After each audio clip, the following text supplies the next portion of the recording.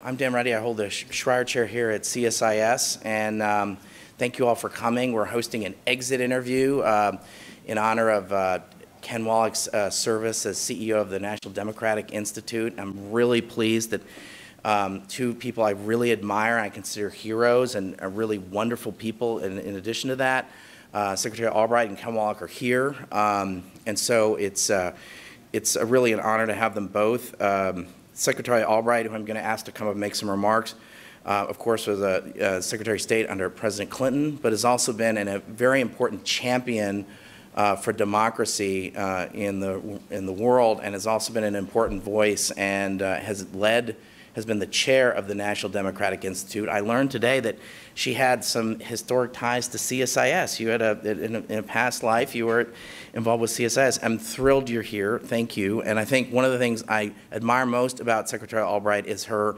partnership uh, across the aisle ac throughout her career.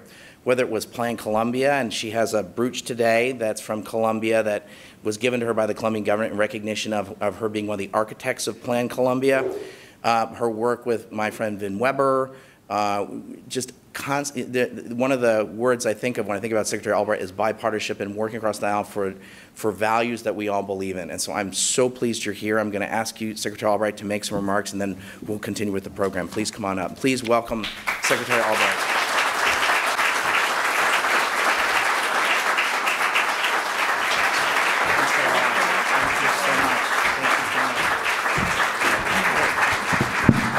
Thank you very much, Dan, and it's wonderful to be here. I did have an association with CSIS when it was in uh, smaller quarters. Uh, uh, and I uh, did research for Dr. Brzezinski, and he said my title was Empress of Research. So uh, I really am very grateful to CSIS for organizing um, this event and for inviting me to participate because uh, even if I'm just a warm-up act for Ken. Uh, but let me just say this is um, I do have to tell this story, and it is a sign of bipartisanship. and that is that um, one, one of the things that happened uh, at the beginning of the Bush administration, he, uh, there was a meeting called of former people to come and uh, be uh, really briefed on what was going on in Iraq. And so we're sitting in the Roosevelt room, and one of the weirder parts that I think some of you have had this experience is to go back to buildings where you were when they were in different hands. And so it's always interesting to go back to the White House. And so uh, President Bush came in and he talked an awful lot about the importance of supporting democracy and um, various things that we had to do. And then we had a briefing on everything in Iraq. And then as the thing was over, he said to me, uh, well, why don't you come in and let me show you how I've redecorated the Oval Office? And so we're walking through, and I said, Mr. President, I so agree with the fact that you um, are telling us to support democracy, but you act as though you invented democracy when actually I did. Uh, but what I should have said, actually, Ken did. So, and he really did. And so, in all seriousness, uh, I'm very pleased to be here, uh, to be here, both to show my appreciation to Cannon for his decades of leadership of the National Democratic Institute, and to offer my own perspective on the topic of democracy support, a perspective shaped by my experience as NDI's founding vice chair and now the chair. President Kennedy once said that, and I quote, democracy is never a final achievement, it's a call to an untiring effort. I don't know if JFK had Ken in mind when he said that, but I can think of no one uh, who has responded to democracy's call with greater or more untiring effort. Consider that when Ken joined uh, NDI in 1986, it was a bustling enterprise of six full time staff with a part time bookkeeper who stored records in shopping bags. Uh, Ken took a chance um, on NDI, especially since the previous year Congress had cut all funding for the Institute and its Republican counterpart, IRI, taking away their only means of financial support. So during those early days, everyone worked on every project. NDI went into a country, conducted the program, and then left the country. And then it moved on to another country and conducted the program and then left the country. It was really amazing what six people could do. NDI occupied just a few rooms on Massachusetts Avenue, a, few hundred feet from here, with two ancient computers. Times have changed, and today the sun never sets on NDI, with 50 plus field offices and 1,000 staff spanning the globe, representing nearly 100 nationalities. But most importantly, Ken's personal and professional values have never changed. His rock solid integrity is unmatched, and his passion for democracy has never wavered. Although it's hard to believe now, at some of the first meetings, the board of directors vigorously debated several key items, including, and this is really hard to believe, whether NDI should conduct any programs overseas and whether NDI should be involved in observing elections. Those debates were clearly resolved, but there were certain principles established and expanded upon during those early days that still define NDI. We work with small d Democrats in every region of the world to build political and civic organizations to safeguard elections and to promote citizen participation, openness, and accountability in government.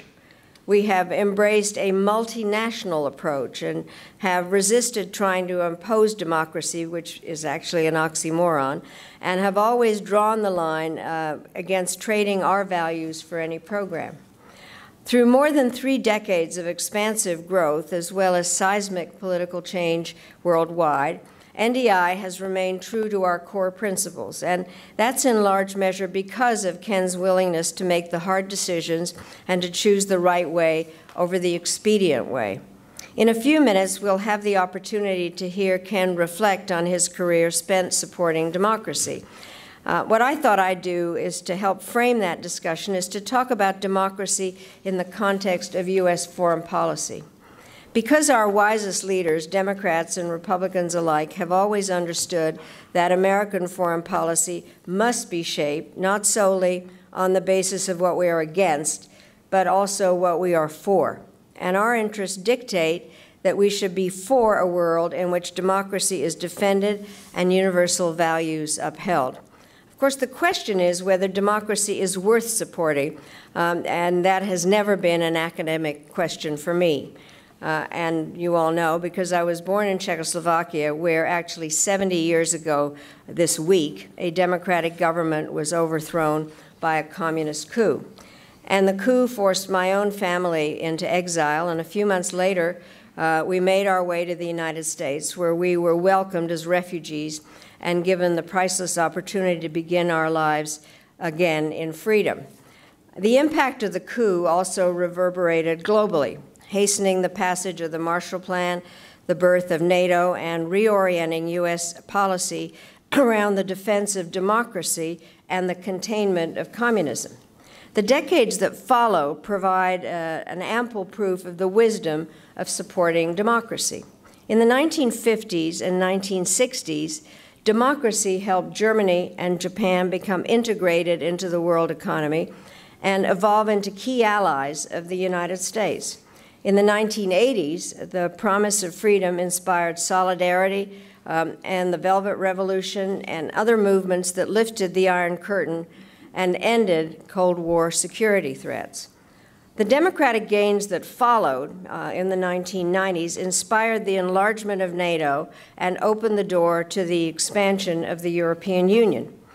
In this hemisphere, the spread of democracy allowed the United States to work with our neighbors more closely than ever uh, to broaden prosperity, address social ills, and expand the rule of law.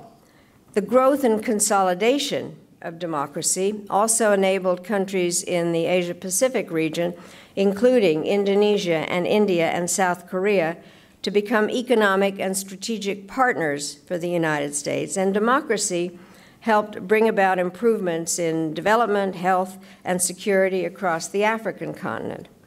When the Cold War ended, uh, many felt that democracy had passed its biggest test and was marching on the right side of history. But I have to say that in the years since, the sense of euphoria has dissipated. The financial crisis and growing gaps between rich and poor have fueled anger and deepened doubts about the capacity of democracy to deliver on its promises. The war in Iraq, which uh, brought neither stability nor liberty to the Middle East, gave the promotion of freedom a bad name. Technology, which was once thought of as a democratizing force, interestingly enough, has proven to be a double edged sword. Social media has disaggregated voices and made governing much more difficult. Um, and in recent years, it has been co opted by freedom's foes who are now adept at polluting social media platforms with rumors and disinformation and authoritarian propaganda. And all this has led many to declare that democracy is in crisis. And as I'm sure many of you have read, Freedom House did its annual global survey uh, and issued it last month. And like other studies put out by The Economist and the Bertelsmann Foundation, the Freedom House report finds that political rights and civil liberties around the world have deteriorated to the lowest point in more than a decade. Progress in a few key countries and regions um, these organizations have concluded, has been more than overshadowed by renewed authoritarianism in Turkey, the rise of illiberal parties in Europe, state collapse, as in, um, in, in an authoritarian Venezuela, and the onset of an Arab winter across much of the Middle East. These reports also document how the world's autocracies, especially Russia, are working to undermine democracy while positioning themselves as an alternative model. A few weeks back, we learned incredible details of Russia's interference campaign in the 2016 presidential election. And last month, the Senate Foreign Relations Committee published a comprehensive analysis of Russia's anti democratic campaign in Europe. It is uh, both undeniable and deeply disturbing that Russia is actively seeking to undermine democratic practices around the world. It also cries out for a forceful and comprehensive response, one that includes not only sanctions against Russia and steps to protect our own institutions and discourse at home, but also a surge in our efforts to support democracy abroad. Uh, we need to remember that those who wish to tear democracy down can only succeed if democracy's opponents are too timid and too divided to stop them. And there's no doubt in my mind that freedom's foes are seeking to divide us and dissuade us from doing more. I don't think we can forget that Russia is run by a KGB agent. And that's why, in part, we continue to hear some argue that the work of NDI uh, and uh, you know, we're trying to show that what is really going on, how different it is. And there are some who argue that the work of NDI and other democracy organizations is no different from Russia's efforts to interfere in other countries. There, there's a diplomatic term of art for that, and its abbreviation is BS. Uh, um, and, and Ken, I, I, think this is so worth pointing out, is because Ken, uh, in a New York Times article last week, um, that this is not just comparing apples and oranges, rather, or it, it isn't just apples and oranges, rather, it's comparing someone, and I think this is such a very, very good point. It's comparing someone who delivers life saving medicine to someone who brings deadly poison. The, um, the democracy assistance we deploy is designed to promote integrity, transparency, and accountability. Compare that to what Russia does which aims to undermine confidence, skew election results, and sow discord. We cannot let this false equivalence stand, and we cannot let propaganda dissuade us from pressing forward with democracy support. I know from my own experience that this can be exhilarating but humbling work because in any society, building democracy is never easy, never fully accomplished. It's something to be worked toward step by step country by country, day by day. But it's worth it because uh, we know we will do better and feel safer in an environment where our values are widely shared, markets are open, military clashes are constrained, and those who run roughshod over the rights of others are confronted. Now, make no mistake, American freedom, prosperity, and peace depend in large measure on whether democratic institutions succeed around the world. And that depends in turn on America's willingness to continue working with our partners to promote democracy. And that depends on whether the administration and Congress provide the resources required for our most effective democracy builders to do their jobs. I have to say, and it's no surprise, I think, to anybody in this room, that I've been deeply disappointed by the steep and arbitrary funding cuts to democracy assistance this administration has proposed in its loony requests for the State Department and International Affairs budget.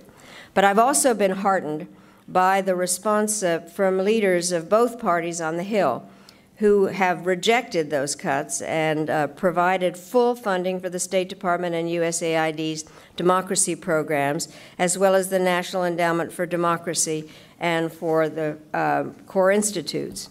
That support should continue because we need to be doing more, not less, to tell our story and support democracy and human rights abroad. And above all, we've got to remember that uh, without this commitment, American foreign policy would lose its moral compass, its most compelling claim to global respect, and ultimately the support and understanding of the American people. Freedom is perhaps the clearest expression of national purpose ever adopted, and it's America's purpose. So, like other profound uh, human aspirations, it, it never can be fully achieved. And it's not a possession, it's a pursuit. And few have done more for that pursuit over the last three decades than Ken Wollack and the team that he has led at the National Democratic Institute. It's been my honor to work alongside him, and I look forward very much to the discussion uh, here this morning. And thank you all for being here to honor Ken, who nobody deserves more uh, claim than he for what has been happening.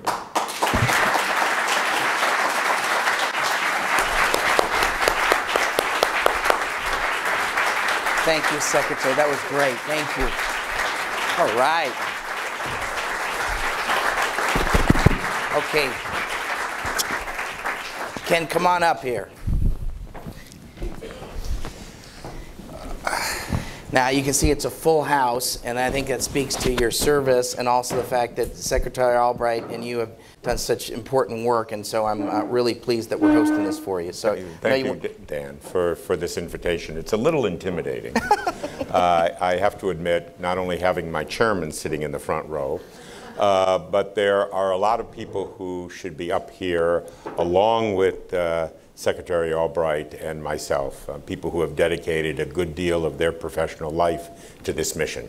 Uh, Carl Gershman and Bill Sweeney um, and John Sullivan. Uh, John Sullivan, who is there, uh, my counterparts from the Solidarity Center and the Center for International Private Enterprise, um, uh, colleagues at USAID and the Department of State.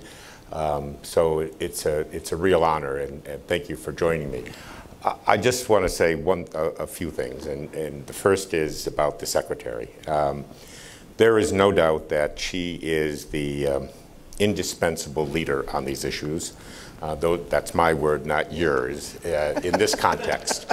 Um, it's not only at NDI, um, although and I always complain that she does not have a monogamous relationship with the Institute. She does a lot of other things.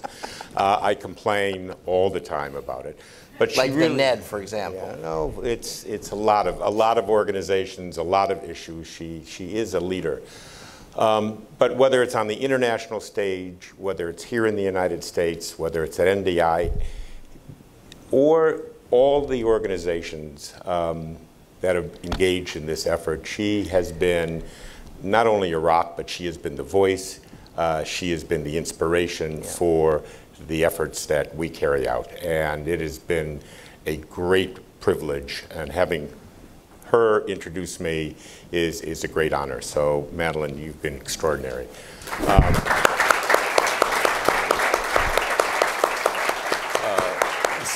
Secondly, the Secretary talked about the growth of NDI, but there was similar growth of, of many of the organizations that, uh, that are represented in this room.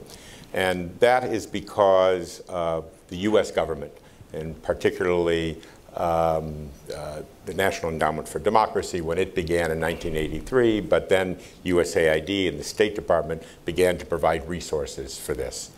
Um, and the partnership that we and others have had with the U.S. government. Senator Lugar once called this a public-private partnership, is what allowed us to expand and have permanent presence on the ground, and that support has been absolutely critical. Um, this was, in the early days, highly controversial. Um, people don't realize it. Uh, uh, I and Carl and, and others spent hours going through five-hour debates in the Senate and the House on this issue. Um, Republicans loved it and Republicans hated it. Democrats loved it and Democrats hated it. Uh, Jesse Helms was a big opponent. Orrin Hatch was a supporter. Ted Kennedy was a proponent. Uh, Barney Frank was a strong uh, critic. Um, and it went on for a number of years at that time. Um, and there were two seminal events, I think, that changed the debate in Washington. Um, one was the snap elections in the Philippines in 1986 in which Ferdinand Marcos lost uh, an election to Corazon Aquino after the People Power Revolution. And the second, nearly two years later, was the presidential plebiscite in Chile, in which the, the no command, the no forces, denied Pinochet another eight years in power, forcing a democratic open election a year later. And it brought Democrats, Republicans, liberals, and conservatives together.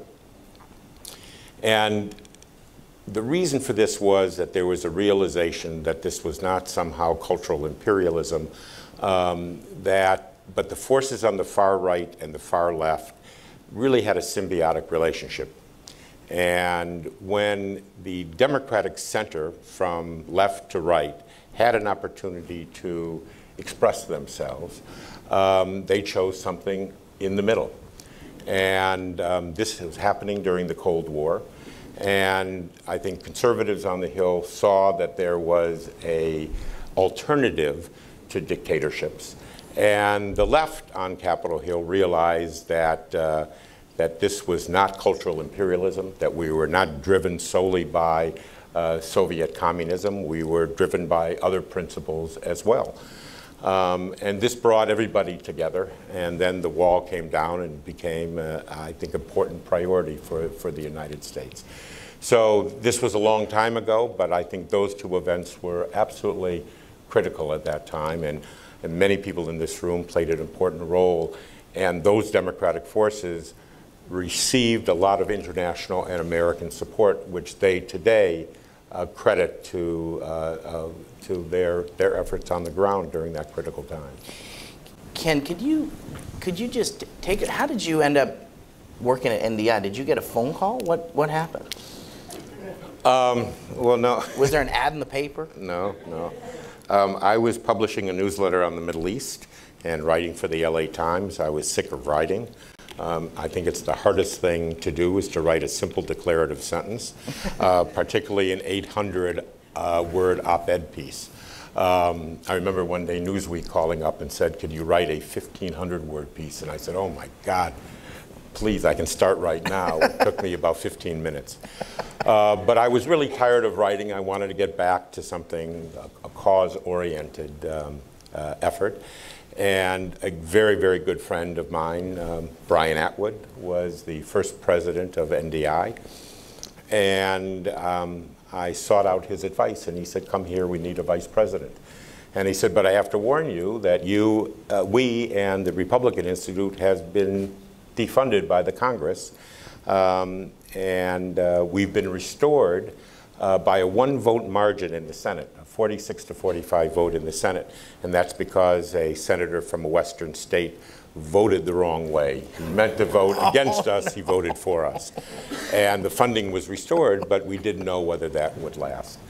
And Brian and I had been a good friend and uh, friends in the past, and uh, and I think it was Brian's um, leadership at NDI and the Secretary's leadership uh, at, at, NDI that established a foundation uh, for the organization.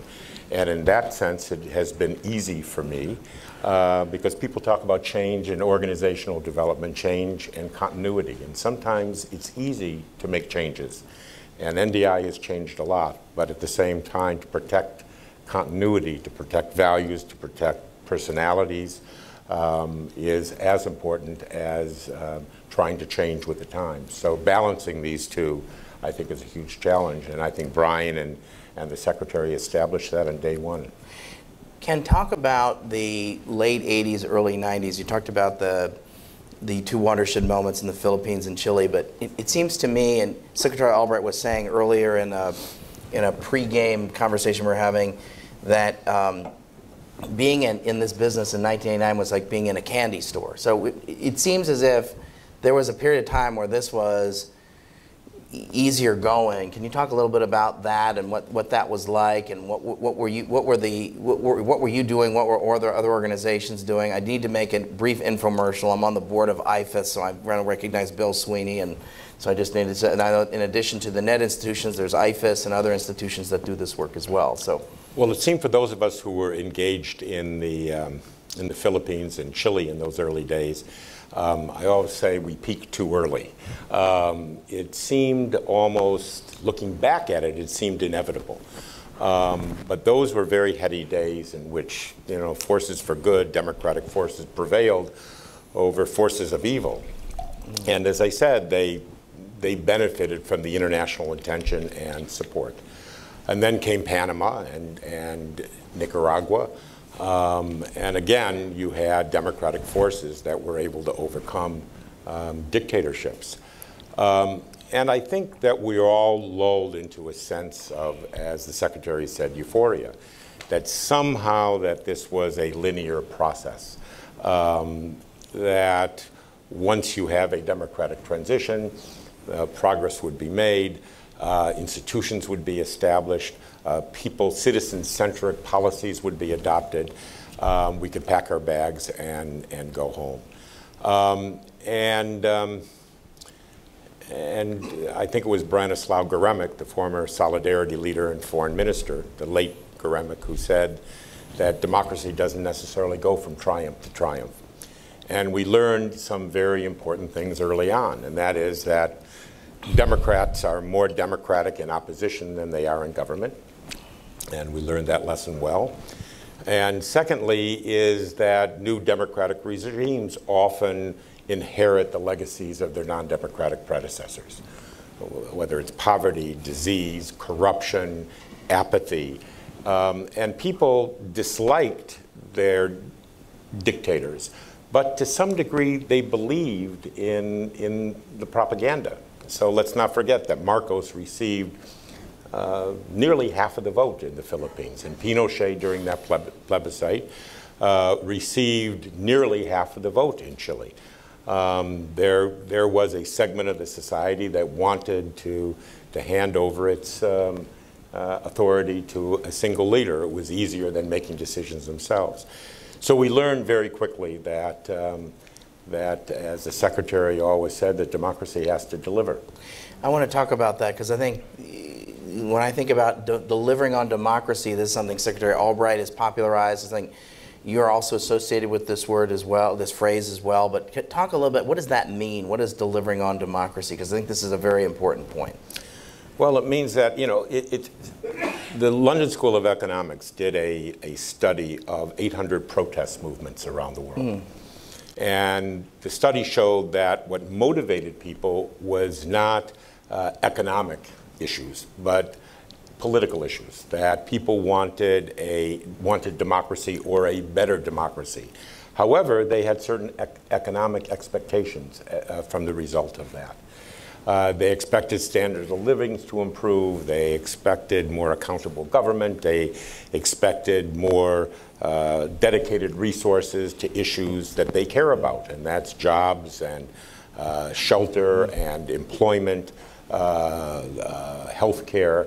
And um, when governments don't deliver, uh, Joseph Stiglitz once said that people go to the streets.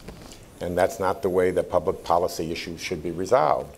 Or they end up voting for a Hugo Chavez. And it was Chavez who once said that I'm not yes. the cause, I am the result. Yes. And he became the result of failed political institutions uh, that were seen as out of touch and corrupt uh, by the people of the country. Um, and so it is literally a race against time. And if I think there's a change, not a change of priorities, but a, a, a focus on fragile new democracies. um, you know, there is an image of democracy advocates and promoters and supporters that our work is to support good people against bad people, and that's true. However, 50% of the countries where we work in are new democracies and fragile democracies that have made the decision uh, that this is a system that they want for their country. And these are governments, these are political leaders, opposition leaders, civil society. And the question is, how do you sustain those democratic advances and to ensure that these institutions deliver um, so there is not backsliding? And so much of our work is now in the governance field, um, as well as the places that are non-democratic or semi-authoritarian. But the challenges are great. Um, but even with the recent Freedom House report and the Economist report, if you look in 1986 when I came to NDI, Freedom House, I think, had about 50 countries in the free category, yeah. and, and today there are 90 countries in that category. Um, so there are success stories. There are countries that have been able to uh, to manage their political system in a way that citizens are much more engaged. And if there is backsliding, people stand up. You look at recent actions in in Burkina Faso and in Zambia and, and uh, other places in which citizens stand up. And even in some of the most unlikely places on earth, um, there are democratic subcultures that are developing, even in places like Syria today, which I, I can talk about. So the notion of helping these fragile democracies, um, and unlike the Russians, um, this, these are places where people in and out of government welcome international attention and support and expertise and the sharing of experiences because they have to change their political systems virtually overnight. And they can benefit from the lessons that others have gone through, uh, that uh, they have learned from their transitions, and learned from the mistakes as well as the successes. So Secretary Albright talked about the difference between what Russia's doing and what we do as the difference between poison and medicine. Could you talk a little bit more about this? Because I think there is a growing narrative or pushback about the kinds of work that NDI does or the other groups that are in this room do. Say, and so the Russians will say, well, we, we're, we're, quote unquote, we're doing the same thing. Now, it's cynical as all get out, and it's not true, but that's there's a narrative out there. So what, talk a little bit more about that, because I think it's very dangerous. Well, I think a lot of this was summarized in that New York Times article last week, um, in which the headlines talk about meddling, Russian meddling and U.S. meddling in the elections. And I hate the word meddling. Um, but um, there are some fundamental differences uh, between what the Russians do, as the Secretary said, and, and what organizations like we do. Um, first of all, if you look at elections in Russia and elections here and in other democratic countries, they're the same in name only. Um, uh, what happens in Russia are not genuine elections.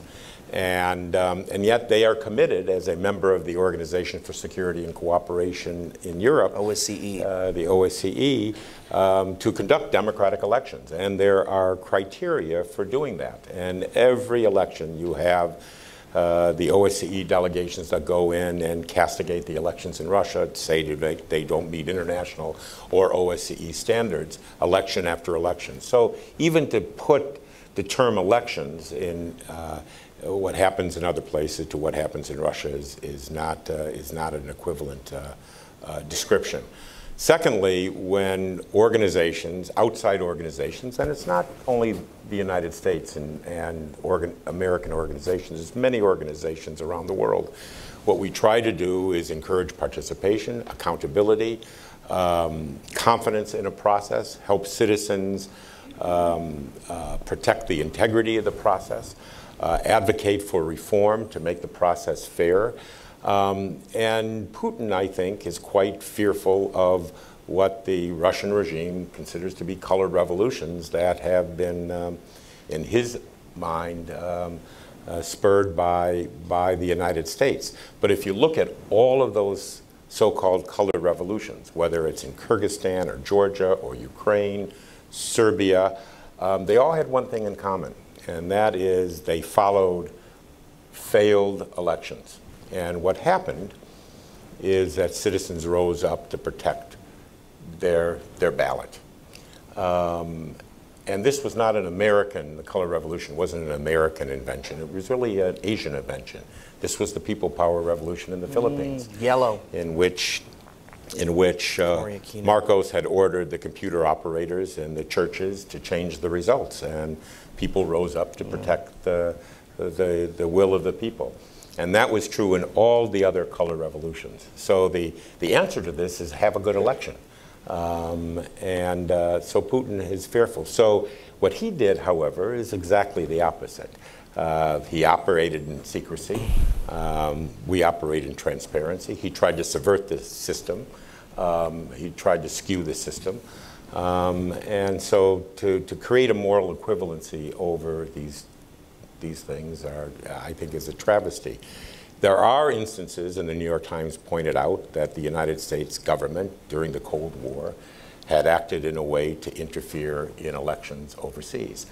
Um, one of the issues that I pointed out, however, to the reporter was that you're looking at examples 60, 70 years ago. And the world has changed since then, and the United States has changed since then. And um, these types of interventions by the United States uh, uh, don't happen. And, uh, and when they debate these issues now in government, and they have in the past in places like Iraq, generally in the end they pull back from these types of interventions that were more common 60 or 70 years ago during the Cold War. And so we've changed, but the, the Russians haven't changed in this regard. Everyone just press on this issue of, of other countries that are like the United States that do important work in this area. Because I, I, I've done a lot of work with the private sector and with philanthropy and multilateral organizations. I continue to believe that this is something that the United States government, in partnership with a, an ecosystem of partners represented in this room, have to continue to do. And I think there are other countries that have also concluded, concluded the same thing. Can you talk a little bit about some of the other countries that are doing important work in this field? I think there are three things that have changed um, from the situation that existed 35 years ago. Um, first of all, the United States has changed in this regard. Um, I remember when NDI first went into Mexico, and I won't name the name of the ambassador, who said, what are you doing in my country? Oh, boy. He said, you're not going to bring the people power revolution to, to Mexico. Um, he didn't realize, however, that we were invited into Mexico by the leading reformer in the PRI party, um, uh, Mr. Colosio, who was trying to lead a reform effort within the ruling party, a 70-year-old ruling party in Mexico. Um, uh, tragically, he, was was, murdered. Um, but um, uh, but today, there has been a sea change. Every U.S. ambassador has democracy and human rights as part of his or her portfolio. Now, it may not be item number one on the bilateral agenda, um, but it is part of that portfolio, and that's been a huge change. Secondly, um, there is now an international architecture around democracy support that never existed 35 years ago. And that architecture includes non-governmental organizations like ours, many, many of the people in this room represent. Um, there are intergovernmental organizations that are engaged in this. There are other governments that are engaged in this. And interestingly enough, even some of some of those in the traditional development community and international financial institutions, although they, they may be more reluctant to use the D word, uh, in describing the work. But they talk about social accountability and open political Accountable systems, governance. accountable governance, uh, inclusion. Um, they use other words to describe it, but there is a general understanding now that there is a linkage between human development, political development, and economic development in countries.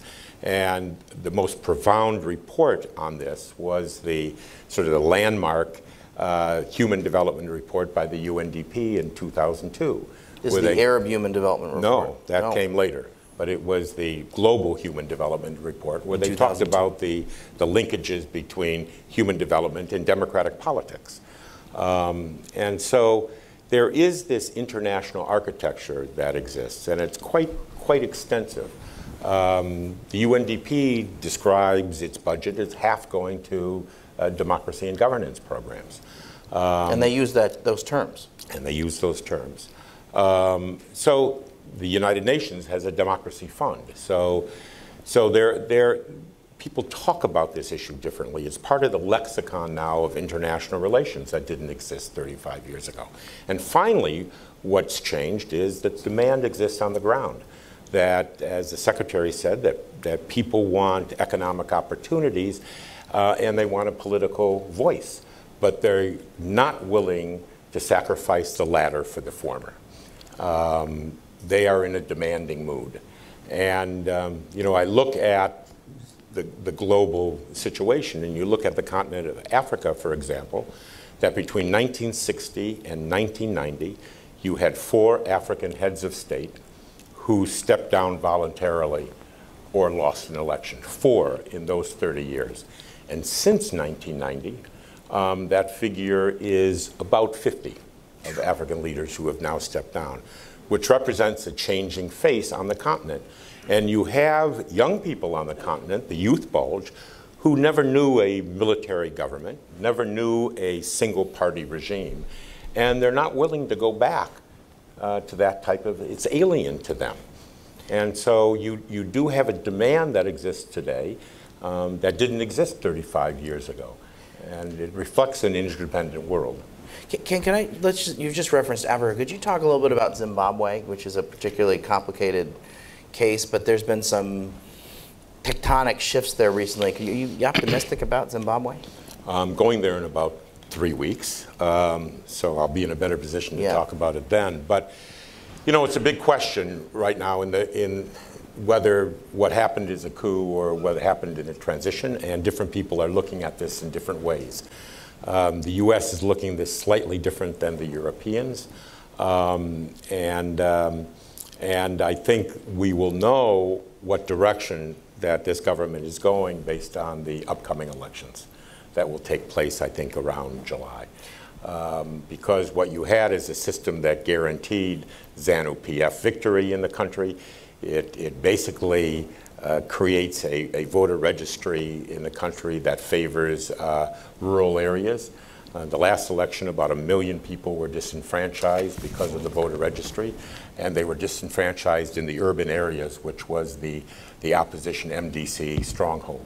So we'll see whether this government will, will, will be willing to change the rules of the game, um, will be allow an open process, or will they fear an MDC victory? And, um, and many of the people that are in the government right now were also part of the ZANU-PF efforts to, to rig the previous election. So, so we'll see. They're speaking differently. They've talked about allowing European and American observers to come. They're talking about uh, reforms in, in the election authorities and in the voter mm-hmm. registry, but we'll so wait and see right now. So do I mark you down as an optimistic pessimist? On, The secretary says she's an optimist who worries a lot. So All right. you can put me in that camp. Put you in that camp. All right. So I've got a, I- so there's been a lot of talk in the last 10 plus years about a recession in democracy. So I'm, I remain optimist. I, I think I'm in that same camp as an optimist who worries a lot. And there's been, uh, the bad guys have gotten better at being bad. And there's been a sort of a closing discussion about a closing civil society space. So, you know, we talked earlier about 1989 to, I don't know, maybe sort of, there was sort of a 15 year period where there was sort of, I'm guessing, let's put it 1989 to about the early 2000s, maybe 2001, 2002, 2003. And then there's been sort of a period since where it's gotten more tricky. Can you talk a little bit about that and tell me something hopeful, please, about this? Because this has been, there's a, there's been a lot of pessimism about, about the, the business, if I can put it that way, in the last, in, in the last while because of sort of the, these uh, authoritarians getting better at this, using technologies in ways that, you know, perhaps are disappointing from what we originally hoped that they would achieve. Well, this has been chronicled all over the world. I, I, you know, you have what's called authoritarian learning. Um, I think in reaction to many of the people power revolutions, color revolutions that have taken place uh, around the world, where you have regimes that are fearful of losing control. Um, and these are in the category of countries that we would describe as semi-authoritarian regimes, where you have democratic forms, you have elections, you have an opposition press, you have political parties, even opposition parties, you have some civil society activity, but in reality, one regime, one party, one individual controls the, the, the, the political system and, um, and arrogates most, if not all, power to himself, and usually it's a him, uh, or to the regime.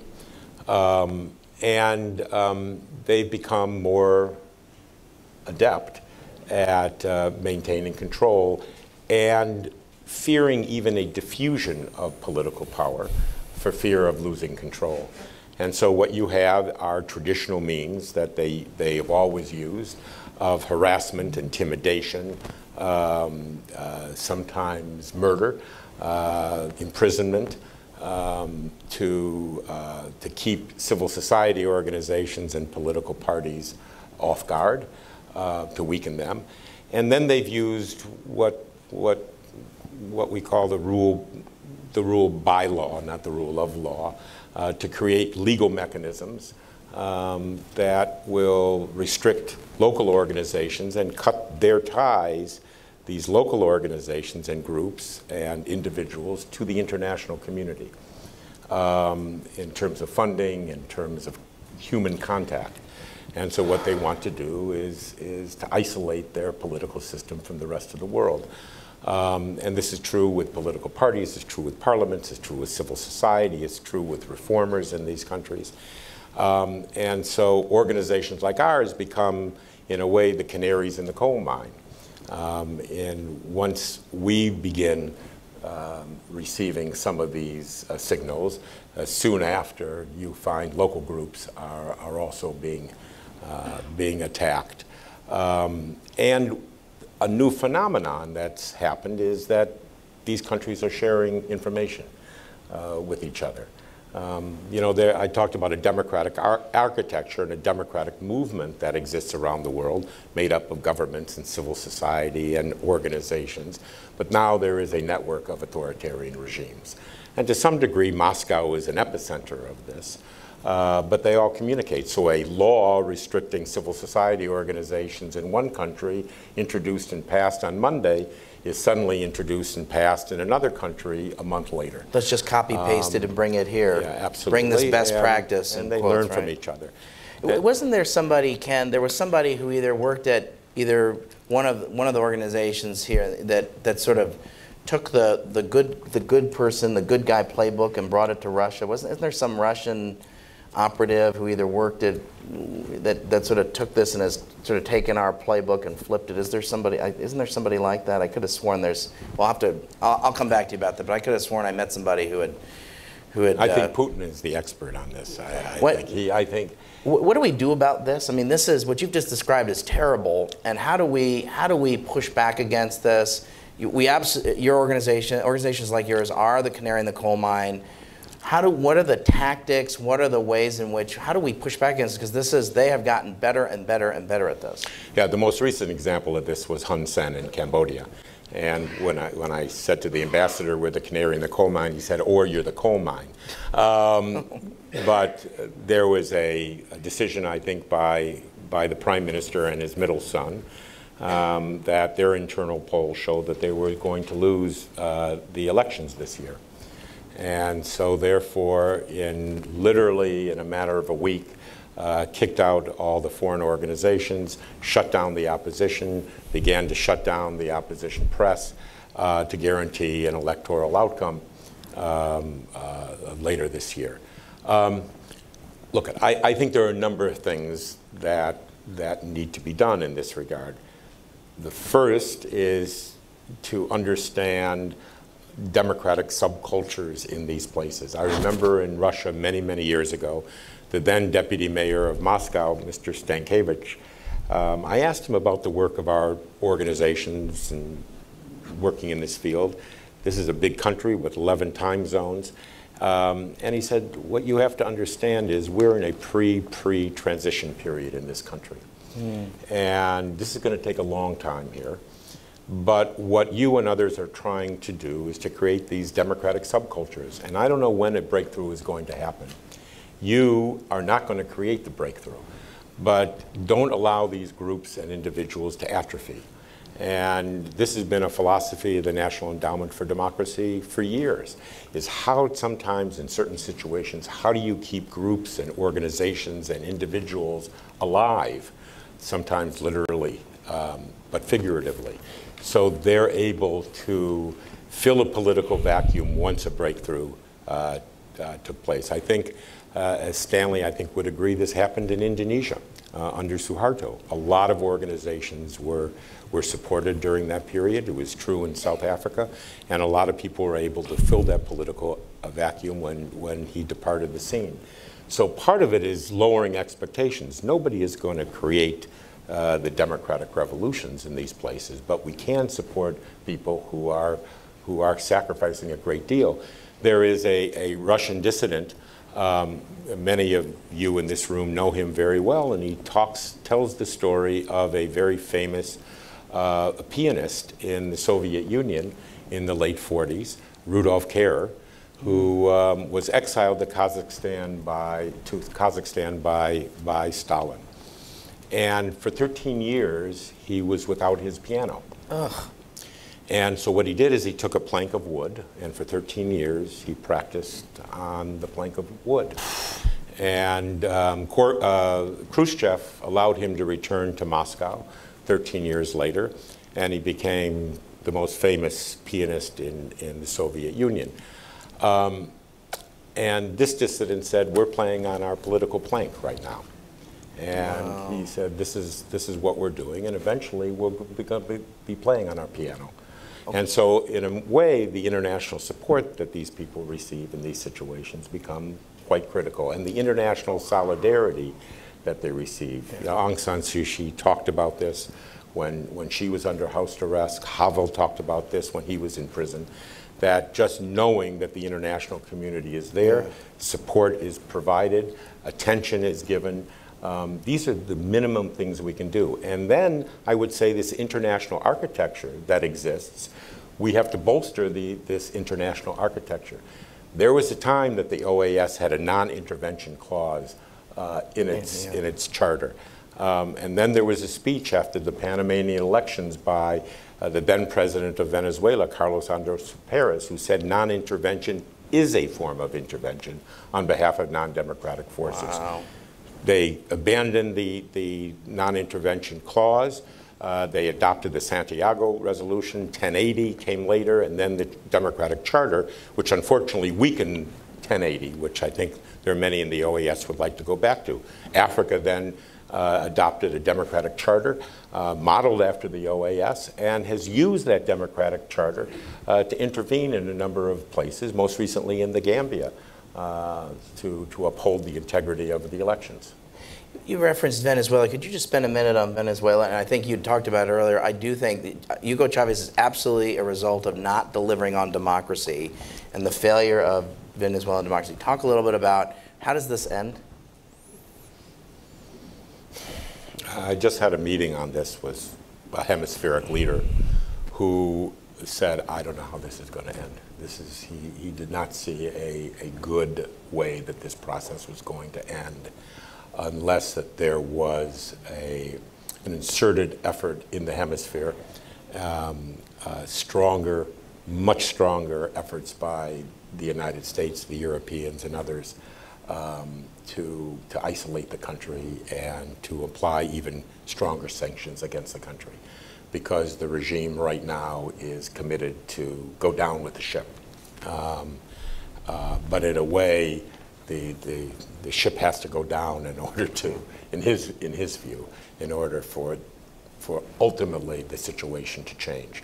Um, you do have efforts on the part of the opposition, but like in so many dictatorships, there was a brilliant New York Times article written in the 80s that talked about fragmented oppositions, and in a way, don't blame the oppositions, blame the regimes, because to some degree they become the mirror image of, of the regimes in these countries. Um, and there are many differences within the opposition of how to how to respond okay. to to the situation. But I don't right now, I don't see any quick solution to this problem. Let me just to cover a couple other countries, and I want to open it up, but uh, Iran. So there's been, um, I don't know, three, three moments, at least three moments in the last 20 years where there's been sort of a, mo- a popular percolation or whatever, however you want to describe it. Uh, what, talk a little bit about Iran and what, uh, put aside sort of the, the confrontation we have on the security side. What, what, what happens, what's happening there? Uh, I- What's interesting about this, um, this latest movement is it didn't come from the capital, it came from the provinces. And I think in more and more places, um, citizens are saying that their governments are not, are not delivering, and, and many of the non-urban areas are affected most profoundly about this. But in Iran, and I think in places like Syria, there are these democratic subcultures, there are these pockets. And I think as the situation continues in this country, the economic situation continues to deteriorate, we're going to see more of what we, what we saw uh, last year. Um, I don't know where it leads, uh, but there are these pockets of resistance that exists, and I think that will only grow. And the idea that it came outside the capital is a telling sign of growing discontent with the, with the regime. So, uh, talk about the Arab world. There was the Arab Spring, uh, 2011. Um, you could argue, talk a little bit about what happened since then, and could you spend specifically just a minute on Tunisia? Well, uh, you know, it's, it's, I think everyone was extremely um, disappointed of what took place, underestimated the deep state in many of these countries, the real deep state. The real deep state. Um, and, um, but this is only a chapter in a larger book. Um, if you look at the countries that are doing best on issues of economic growth, on issues of terrorism, extremism, um, if you, these are the countries that are the quote unquote liberalizers or reformers. Um, if you look at Morocco, if you look at Jordan, if you look at uh, Tunisia, even Algeria and Lebanon, and uh, these are countries that are managing the system much better than the Egypts or Syrias or Yemens. And political space in these countries are expanding. Um, the governments there are recognizing that they have to um, uh, that they have to compromise on issues. Um, and people ought to learn from this of how to respond to uh, the citizen demands in these places. Uh, Carl, in a speech that he gave uh, not too long ago, uh, referred to the Polish uh, philosopher Leszek Kolakowski, who um, talked about, he was talking about the situation in Hungary in 56 and uh, solidarity in, in 1981, in which it seemed like the democratic forces in these places were crushed or failed. And yet, the regimes were dis- discredited um, under these situations. They had to compromise. And the democratic struggle that took place by civic movements and political movements um, could regroup on a higher plateau. And I think that that's what's happened to some degree in the Middle East. You're going to see a resurgence of, of these democratic demands uh, that existed during, during the Arab Spring in many of these places. Um, in Syria, we are working in 25 communities in liberated areas in northern Syria, uh, bringing citizen groups together, helping them identify, uh, identify um, priorities in their community, bringing them together with local administrative councils that are delivering on priorities that are identified by citizens. And what's interesting is that this is not lecturing on democracy, it's, it's, it's, but it's, it's identifying a need that they have. And in these circumstances, when there is not conflict, the extremist groups like Al Nusra try to set up parallel systems. And these citizen groups and these local administrative councils push them out of the territory um, because that they've been empowered by a process that they've established themselves, but with outside support uh, and, and the use of sort of convening power to bring them together. So in all of these areas that there are pockets um, uh, democratic subculture pockets that I think will continue. And then I think they can learn a lot from the countries that are the liberalizers and the, um, and the, um, and the reformers. Okay, I want you to talk, just comment a little bit about China. So are we gonna, am I gonna live to see a, d- a democracy in China? I, you know, I'm hoping I to live think the, ac- the action by President Xi may hasten change, not, not, uh, not the opposite. Um, Really? But, you know, I, I think to some degree, uh, I'm not a China expert, um, to some degree, the, the current economic success in China masks um, the, the forced um, uh, efforts of the, uh, of the previous regimes in China. Uh, the forced marches and the Cultural Revolution, um, where millions of people died. Millions. And the problem with authoritarian regimes is when they make mistakes, uh, there's nobody there to correct uh, the huge re- results, the massive uh, re- uh, negative results of those mistakes. And I think that's going to happen with regard to corruption in China. You know, there are thousands of protests that take place every year that we don't hear about.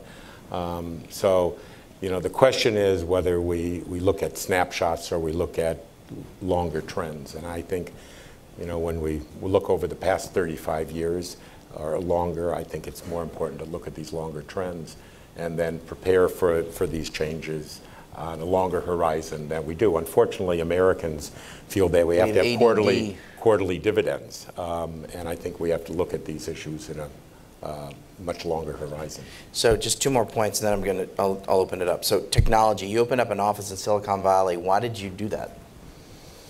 Well, there's, there's two things, um, and the secretary um, uses this quote all the time too, and we've all stolen it from either an Obama campaign person or a Mexican techie um, who said that citizens are communicating using um, 21st century technology.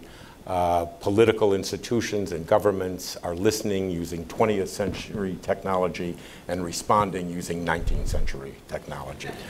And, and as I mentioned earlier, these political institutions are, have become fearful of this technology. It's very difficult for them to separate the noise from the signal, um, and they tend to retreat. And for those of us who are supporting some of these institutions and trying to bring citizens into government and into policymaking, um, whether they're parties and parliaments and governments, is how do you get government and um, uh, to help use technology to communicate with citizens, and how do you use technology to solve problems? Many of these things are happening in municipalities um, and all around, even in megacities around the world. And there are groups uh, patterned after Code for America um, that you may have heard at. There's now codes uh, f- for all, all around the world. We're serving as a secretariat for those organizations right now that are trying to use technology to help government deliver on, on, on certain services. Um, so there are companies in Silicon Valley uh, that can use technology, uh, and we're helping us use technology in, the, in this space, not only on, on, on the side of civil society, but also with government uh, to help solve the communities. These are big uh, tech companies, but they're also startup companies too, and that they, that they can also help in other areas too. In Zimbabwe, you mentioned earlier, um, there was our local partner that was doing a parallel vote tabulation from the official count, which exposed many of the, many of the problems in the elections. Um, and they were fearful that, um, that the government was going to cut off the communication system that was designed through SMS. Um, and um, so there was a startup firm in Silicon Valley designed a system so the local observers around the country could communicate um, via SMS to lines outside the country and then have it returned to a central location so nobody could cut it off inside, inside Zimbabwe. So that there are technological solutions to problems that companies in Silicon Valley can help with. And now the disinformation uh, uh, uh, issue has become a huge issue in Silicon Valley. And what we're trying to do is to build a coalition of organizations around the world that can serve as an interlocutor with these tech companies to what we call design for democracy in their work. Um, because it is happening on the ground in every single day. And you need eyes and ears and relationships with the tech co- companies to help them understand how severe this problem is. Uh, as an example of this, in Serbia, before the local elections, the Democratic Party of Serbia, its youth Facebook page was taken down because hackers from Russia had infected it with all sorts of horrible things. They, in turn, contacted uh, Facebook. Facebook looked at the site, pulled the site down, um, and the party tried to get it back up after cleaning up um, the material from the hackers, and Facebook didn't respond. We were able, because we were in Silicon Valley and our relationships, get Facebook to put the the, To fix the, it. the- to fix it before the elections took place. But this happens every day in in dozens and dozens of countries, and it is only going to expand. So what you need is a whole coalition of groups operating internationally that can identify, can expose, can detect, and, and counter this. And they need international partners to be able to convey this information to the, to the tech community. So, so Ken, I'm going to, I'm going to ask you to come up and answer this question at the very end, but I want you to answer the question, what, what makes you hopeful or optimistic about the, about the sector? But I want to open it now to the, to the audience. So I want to call on this gentleman here, Steve Mosley, and this woman here, the, these three. Stanley Roth. Aren't you retiring, aren't you retiring too? Now, I, I'm sorry, I have to say, Ken, you are not retiring. I wanted to say, we, we need more Ken Wollack, not less Ken Wollack in Washington. And so I'm hoping we're going to see a lot more of you, and I hope you'll be active in a variety of fora, including CSIS. So don't, I don't like, we were- that's, this is a retirement-free zone. We're not using that term. But yes, go ahead. Um, Stanley Roth, former employee of Secretary Albright. Um, I was struck by your comments about maybe democracy peaking too early in the 80s and thinking, you know, not only did you have the ROK in Chile, um, not only Philippines and Chile, but you had ROK and Taiwan. Then you had the disastrous setbacks with Tiananmen and Burma. But then you had the whole wave of what happened afterwards. You've already mentioned staggering changes with the fall of the Soviet Union. But I would add, with the Secretary as a key player, Indonesia and the birthing of East Timor and backwards. So now skipping to the present, and the question is, if you had to pick priorities, and what I mean by that is I completely accept keeping things warm, developing institutions, civil society, for when the politics are right, you know, things that have done because you can't predict when dictatorships will fall. But if you had to pick priorities not just for the NGO sector, but for the public-private partnership, if we can get the administration to move, you know, what would you pick? For example, I'm thinking South Africa now, maybe an opportunity. Yeah. A little more pushing the envelope. Saudi Arabia. Yeah, what's the low? What's the low-hanging fruit? If we could Well, get they're our not so low, but um, South Africa is formidable. Saudi Arabia has some remarkable progress on the cultural side, a little trickier on the political side. Is it Tunisia? But in places where you might, is it preventing further slippage, Myanmar Yeah. or Eastern Europe? Where would you pick the political priorities, you know, while you're doing all the basic If you're underlying gonna- If you're going to put your people, time, and money somewhere, where would you, where would you put it, right? Yeah, in addition to the long-term Okay. prospects, because I fully buy into that. All right, great. Steve, and then there's someone, and this woman over here. Thanks. Congratulations, Ken. Um, I retired eight years ago, and now I'm working full-time as a volunteer for the United Nations well-being. So uh, don't retire. Absolutely. That's, that's wonderful. Um, one of the things, th- 30 years ago, um, and over the past 30 years, the experience in investing in women's development and their freedom and opportunity and, and breaking down the barriers has helped tremendously on some aspects of alleviating poverty, on improving health, on family um, development. But it hasn't translated to leadership in countries. Um, as I think we all expected, that was the ultimate outcome, that there'd be tremendous opportunities for women to lead countries and make a tremendous difference in peace building and in terms of bringing more democracy. Could you comment about that? What, what are the barriers that are inhibiting that? And what is NDI and you're thinking to do to um, bootstrap that up now, building on the enormous um, um, capacity of educated women in the world? Okay. And then, let's get this woman, uh, give, give her the microphone. Have to write these down. So this woman, my name is Shawna Bader-Blau. I'm the director of the Solidarity Center.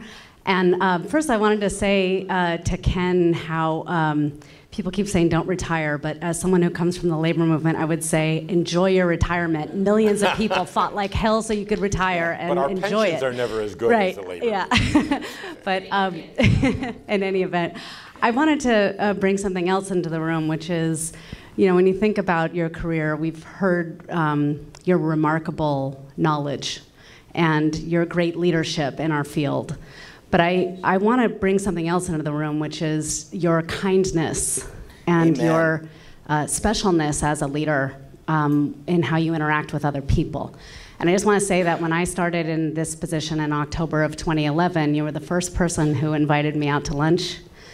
You treated me with enormous respect and kindness. Every time I ever needed advice or help or suggestions, I always knew I could call you, and you, you never went more than an hour or two without calling me back. And I just want to thank you for that and say that that's another remarkable as- aspect of your leadership. That's one of the Can I- reasons I, can want. I just yes. say- Yes. But enough with that. But it, but there, did I pay for the lunch or did you? Did, the- It's your turn but, now. But you said, but you said something I think is really important, and I've said this to our friends at AID and to other donor aid agencies. We all spend a lot of time talking about um, organizational principles and how we label programs and how we design programs. Um, how we describe what we do, you know, what are the organizing principles. And that's all important, and, and it's important to do that. But ultimately, we, and I, this entire community, is successful based on relationships that exist on the ground. Nobody spends a lot of time talking about those relationships. You can have the best program, the best designed program, um, it's described in the best way, but if you have the wrong people and the wrong relationships, you're going to fail. And how do you establish those relationships? How do you forge those, relation, forge those relationships on the ground? How do those relationships change over time? And how do you understand how they're changed? Who should be the, the initial interlocutor? Um, what is direct support and indirect support? How do you relate to people? These are the most important things. And, you know, I remember a member of our board asked, when you send somebody overseas to do this work, what is the most important characteristic? And I said that that person's normal. and, and it's true because any personality quirk that somebody will have here or in Europe or who will be going to another country in a difficult environment, that personality quirk is not going to show many signs in a more an open process. But when you go to a difficult environment in a foreign country, that'll become the predominant personality quirk. And so, how do how do you, what type of people go? What type of relationships are established with local partners? And that deserves a lot more studying uh, by all of us all the time. Um, and but it's key to success or to failure um, in these places. Can, can, I, oh, can I just interject just for a second and just say regarding the Solidarity Center, I, I'm so pleased you, you, you spoke up. I, I, I just think, uh, could you just spend a minute on uh, Lane Kirkland and what role he played in sort of the, because I think that I- is, that is an unsung. I- There, and I've told Shawna this, and I did this in a speech I made to Georgetown recently. I, I, people describe, you know, ask what you do, and I can make the case why this serves U.S. national interests, although I didn't come to this job because it served U.S. national interests. If I was concerned about that, I'd probably go into another profession. Although I do believe this does serve our national security interests. And if you look at the recent documents that have come out from the White House, the, uh, the Defense Department, and the intelligence community, all these documents, whether it's the worldwide threat assessment, whether it's the national security strategy, the defense security strategy, they all have one thing in common that threats to the United States are the result of failed political institutions in countries. And that you have the the, the Russia and China that are trying to propagate its authoritarian model or weaken democratic governance in these places and establish countries that do not join alliances based on shared values. So those types of things, I think, are, are happening, and, and, and I think those documents have become very, very important. Um, just, would you just remind people, who was Lane Kirkland and why is it important? I'm sorry, I got off. But I was at a dinner at Brookings Institution that Strobe Talbott was hosting 20, some 20 years ago.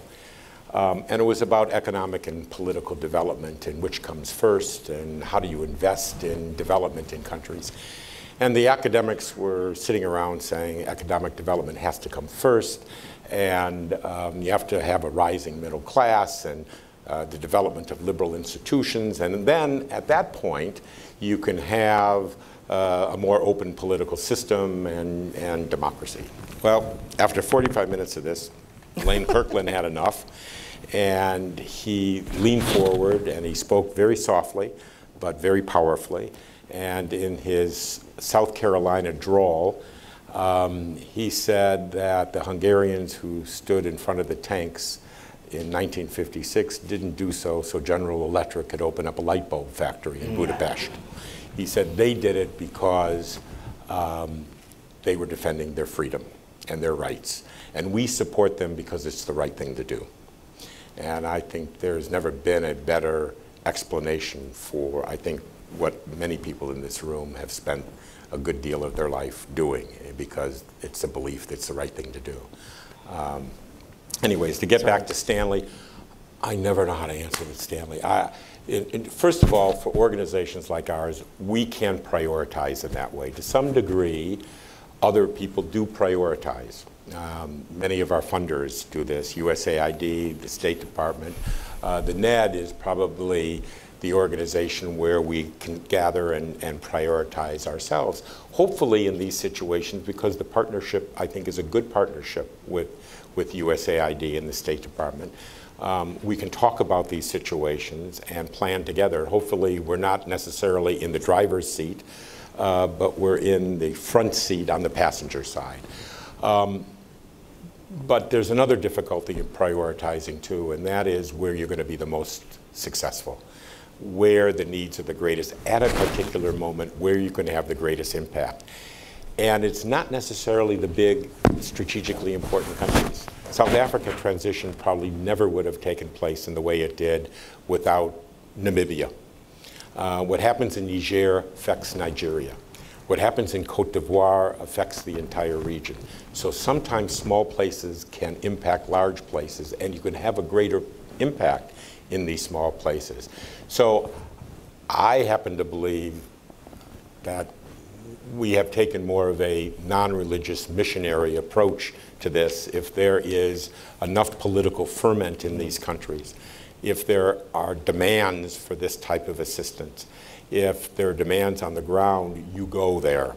They're the ones that determine the priorities. We don't determine the priorities. And, um, and then the impact of that. And we're, you know, I hate democracy promotion because we do very little promoting and we do a lot of reacting. Um, and it is a little bit um, arrogant for this notion of describing this as sort of an export model uh, because an export product because it really isn't. Um, We talk- the other- Steve was talking about uh, women, uh, women and democracy. Oh. Yeah, I, you know, I think, you know, there are lots of studies written about this, but there is no doubt that the more women that are in elected office and a threshold is passed in which political institutions and governments focus on issues that citizens care most about. More women that are in elected positions, citizens have a greater confidence in those institutions than they do institutions that are dominated by men. Um, so there is no doubt about this. But policy has to change. And the only way you're going to get policy cha- to change that impacts women, economically, socially, and politically, is to get more women elected. Um, and the only way you're going to get more women elected is to be higher up on party lists. Um, and the only way they're going to get higher up on party lists in parliamentary systems is the parties have to change and reform and modernize. Um, and that is a huge effort on our part. A major um, technology is having a major negative impact, however, and that's primarily because of violence against women in politics. Mm. And it's not just physical violence against women, it's psychological violence against women. And if you talk to any female politician, and I don't care it's in the developing world or the developed world, every woman politician will talk to you about cyberbullying. And it not only affects them personally and their family, but it affects other women as well who look at this and say, why should I put myself and my family through this? And so this is another huge challenge that technology is presenting and what impact it has on women. Um, entering the field of politics, staying in the field on politics, and trying to assume leadership positions in government. So Ken, let me, And we have a global campaign right now called Not the Cost that deals with violence against women in politics because nobody has recorded this, nobody has documented that's this, true. and the UN doesn't do it. And we're now in a process of gathering a lot of this data so we can give it to the UN and they can put it on their agenda in terms of violence against women generally. so Ken, we're coming to the end of our time. Come back to what makes you hopeful. What makes you hopeful? What are you hopeful about? Leave us on a hopeful note. Um, well, I, you know, you know, I, I'm hopeful. Be, I'm hopeful be, for a couple of things. Number one, I look back at this this more broad span of history, which is only 35 years. It's not it's not a century old uh, proposition, and I look at what's taken place over the last over the last 35 years. Um, and um, number one, number two, it's the people we many in this room we all work with on the ground. Um, these are people that are sacrificing their livelihood and their lives uh, for these issues. And there are politicians and government officials that are committed to these issues as well. There is, there is a critical mass in many countries around the world um, that want to make the world a better place. Um, and they believe that more open political systems and, and citizen centric government and um, is, is part of that, um, is integral to, to a more peaceful and stable world. And to partner with people on the ground um, and to understand what drives them is what gives, gives you hope. Um, and, um, and, I, and then, you know, we're not, we're not the end of history people, neither is Frank Fukuyama anymore. Um, but, we, but we do believe that over time, uh, that people will demand these things and governments are going to have to respond and the international community has to do the right thing and support, support that cause. Please join me in thanking Ken Wollack.